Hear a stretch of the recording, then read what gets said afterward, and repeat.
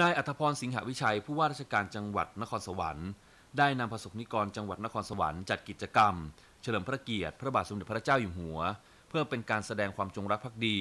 และเฉลิมพระเกียรติพระบาทสมเด็จพระเจ้าอยู่หัว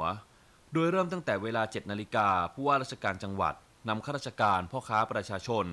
กลุ่มพลังมวลชนต่างๆ ในจังหวัดนครสวรรค์ร่วมตักบาตรพระภิกษุสามเณรจำนวน 68 รูป ที่สนามหน้าสารกลางจังหวัดนครสวรรค์ เวลา9นาฬิกาเป็นพิธีถวายสัตย์ปฏิญาณตน เป็นข้าราชการที่ดี และลงนามถวายพระพร